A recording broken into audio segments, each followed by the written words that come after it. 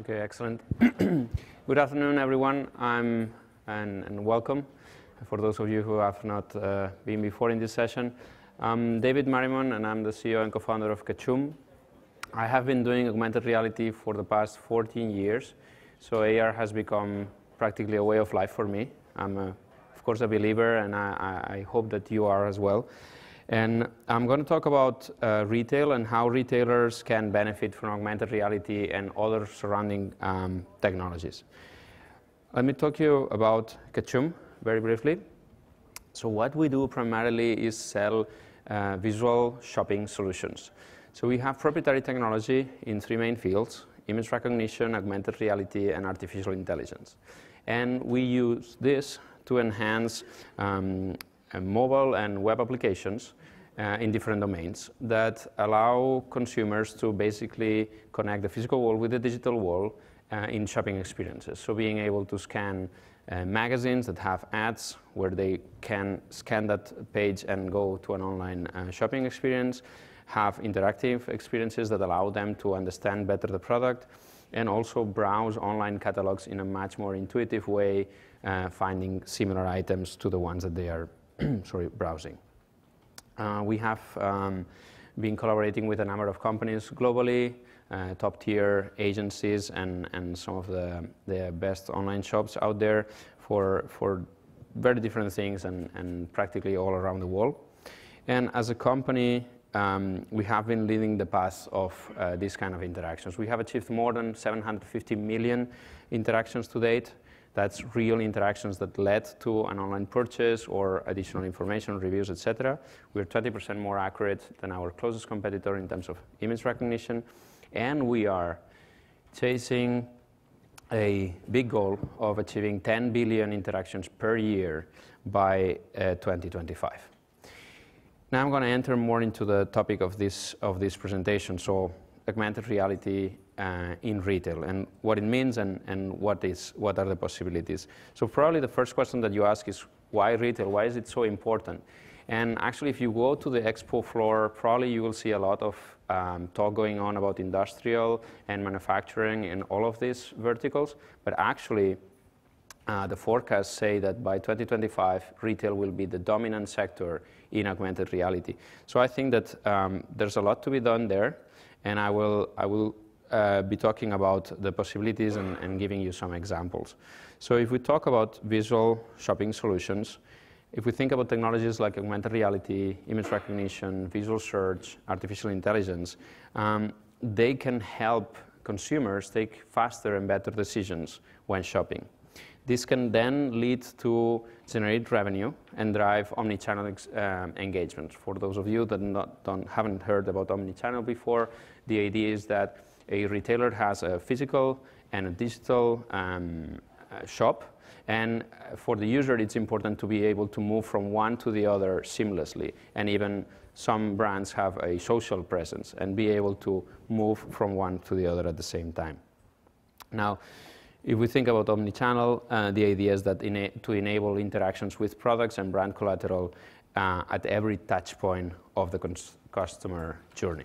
So let's talk a little bit about the customer journey and the different, those different touch points. So in this circle, um, uh, we, we, I'm going to touch about uh, on, on all of these on all of these different stages of the shopping purchase uh, of the shopping uh, process, and the idea here is that retailers need to capitalize and be different at each one of these stages for them to stand out and for their products to be uh, purchased. Um, so let's start with the, the very first moment. So the first moment where there's one, the, there is a, I want to know more, is right after the, the trigger moment, where, where there's a spike of interest by the, by the consumer. So their curiosity must be satisfied by, by retailers for that brand to be considered even. So let me give you an example of somebody who's tapping into that. Uh, there's a company called Tap2See who have created a platform for marketers where they can upload their ads and upload their, their content and connect it directly to a shopping experience. Also allow consumers to get more information just by scanning those pages in catalogs and in ads that they see uh, in the physical world, even in some cases adding some, some level of gamification. And the advantage of creating that is that immediately you move from the physical world into the digital world in order to continue the journey um, there. Then the next step in the, in the customer journey is evaluating choices. So especially if consumers are overloaded to, with too many choices, they, they do have to find a means to select, right? Now, uh, the, the data shows that about 83% of shoppers use their cell phones while they're at the stores. Actually, one in every three dollars spent right now is influenced by mobile. So companies leveraging on mobile experiences can help people take better decisions. And an example of that is that about 62% of shoppers want to be able to scan a product to, on their mobile devices, on their personal mobile devices, to receive more uh, reviews and recommendations. So with visual shopping, we can eliminate text search, we can eliminate browsing through categories, we can go much faster to helping them choose us as a, as a brand or as a product. So here's another example. Uvinum is an e-commerce site that sells liquors and winery. And basically, they use uh, Catchoom to, to allow consumers to scan the label of those bottles throughout a very large catalog of 90,000 plus products. And instead of searching by a text, they just snap a picture and go directly to the product information. This is a web app, so there's no, in, no need for installing an actual app so this also breaks a lot of barriers for the consumers. Another example is using artificial intelligence to provide visually relevant, relevant alternatives to the product that the user is browsing through. Okay, so say you're visiting a, a, website of your preferred mm, marketplace and you see a pair of shoes that you really like. Sometimes the recommendations are based on what other people were browsing. Okay, uh, but we can provide a recommendation based on visual relevancy. So if you're looking at this pair of shoes, you want it to have this kind of laces, you want it to have this kind of height. Okay? And this can be done with um, solutions like the ones that we propose using deep learning. Moving on through the customer journey, um, now that we have evaluated a number of choices, the user is ready to shortlist and decide. Now, at this point, the consumer wants to experience the product. Okay? They want to feel it, they want to touch it, they want to see how their life will change once they have the product. So this is probably the, the key moment where we can use AR in a most compelling way to help them push to the next um, level. Actually, about two to three online shoppers are doing what's called web roaming. So web roaming consists on basically you do all your choices online, and then you physically go to the brick and mortar store to do the final purchase because you want to touch it, you want to feel it. At that moment, the catalog is shrinked to the assortment that you have there. But using augmented reality, we can have a much, uh, a much better um, and compelling experience where we can show uh, that product in different styles, in different colors, etc. So let me give you an example of how uh, web roaming can be done in a way that can drive these um, shoppers. So Apollo Box is a company based here in California, and they have an online shop of furniture, okay, and, and other items for home decoration. And what they provide for their consumers is a try before you buy type of experience. So you open the camera and you see how a couch could look like at your home. What they experience is actually a boost of 25% in conversion rate on their sales. And what's even more uh, interesting is that the, the, the customers said that it was fun and rewarding to actually use augmented reality, and the, the data shows that those users using the, this AR capability are spending an additional 10 minutes on the application. So that's a lot of time allocated to a single marketplace. Uh, moving on um, to the next stage and making the purchase. Um, sorry, I have a distracting view here. Um, the, here the importance is of omni-channel. So I come back to what I was saying before, and the idea is that users want to make this purchase both physically and digitally, and sometimes digital wall and the physical wall have to merge for them to be able to proceed. So the idea is that more and more consumers are getting used to use their mobile and they are getting used to have digital as part of the shopping experience.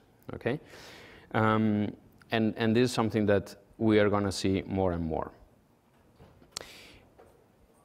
Here's another example: a company in Germany called My Muesli. Um, what they offer, basically, from the name you get it, is muesli, and consumers can basically pick an, uh, a variety, a mix of muesli uh, of their choice. Okay, so they can produce their own mix.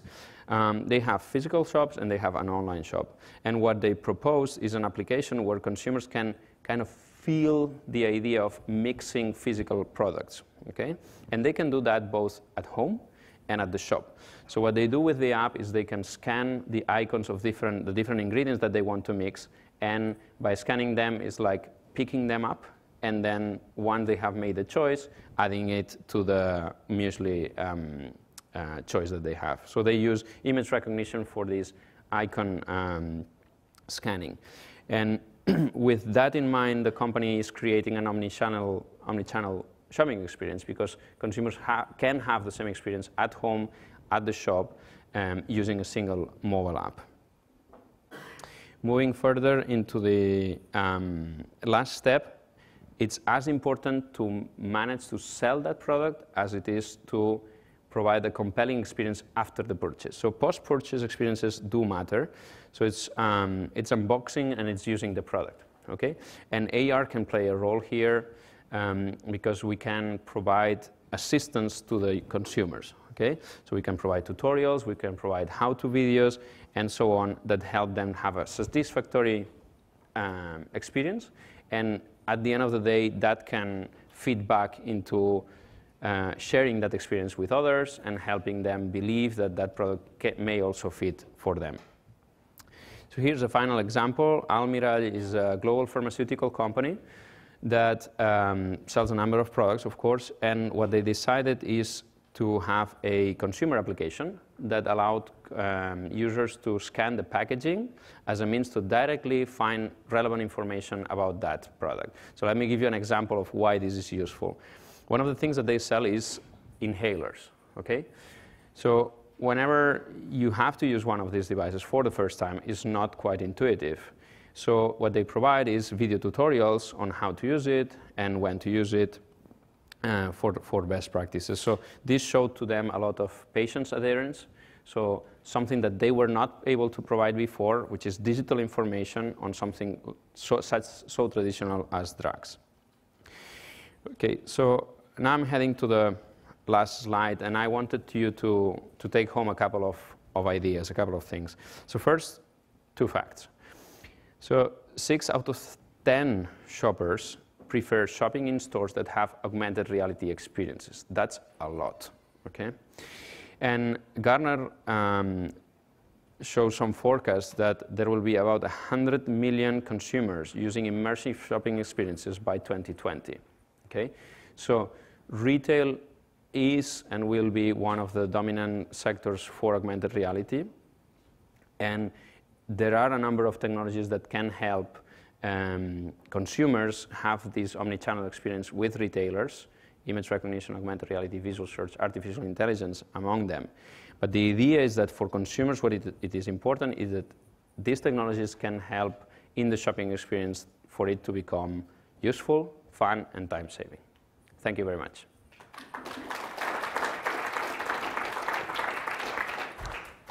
Perfect. So uh, questions? We have one back here. Yes?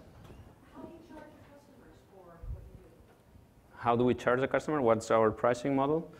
Um, so we have um, so we have different products. Actually, for fashion is slightly different than for uh, CPGs.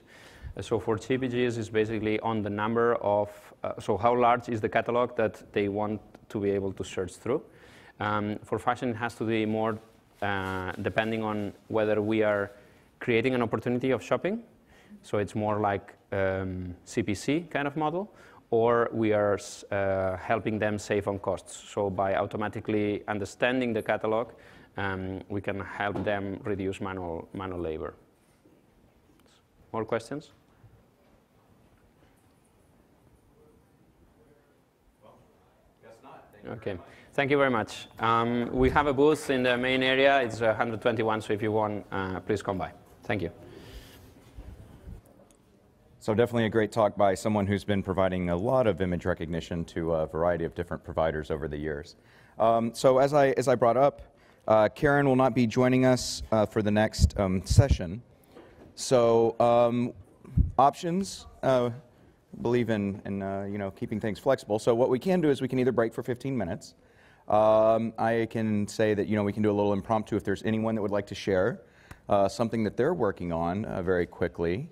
Uh, you're more than welcome to stand up and share, or y'all can network, or whatever you choose for the next 15 minutes. So.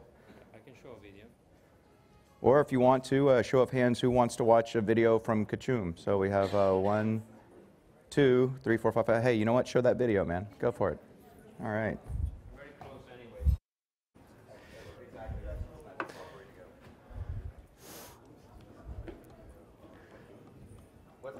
You were at? 121. Uh, so it's next to the this gaming playground uh, area.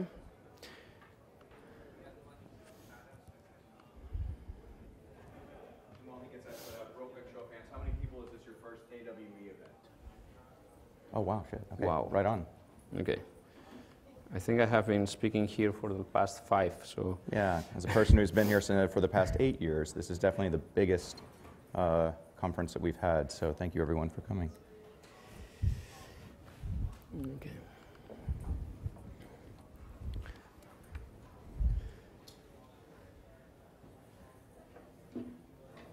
Um, Huh?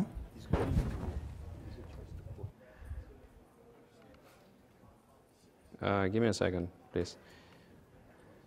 I want to maximize this thing. Uh, but I think it's mirroring the screen. So anyway.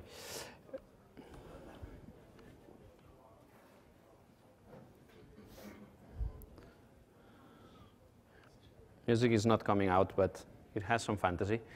Um, so this is uh, specifically related to the fashion product. Uh, so the idea is to help e-commerce sites uh, in a number of things.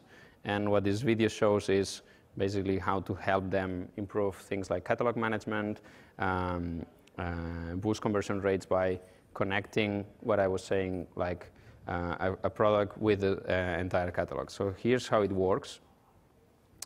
So the, the first uh, idea is to save costs by automatically defining the content of your catalog. Okay, so given an image like this, we are able to say which category very precisely. We work with more than 400 fashion industry colors.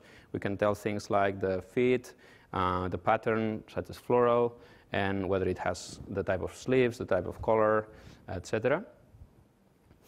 Um, the second one would be to provide relevant, relevant visual similarity um, alternatives. So if I'm browsing this dress or I'm browsing this shirt, what other items in the catalog do you have? And this can help retailers that have a problem of stock, for instance. So whenever you're browsing an item that is out of stock, what other things do you have in the catalog that I can buy?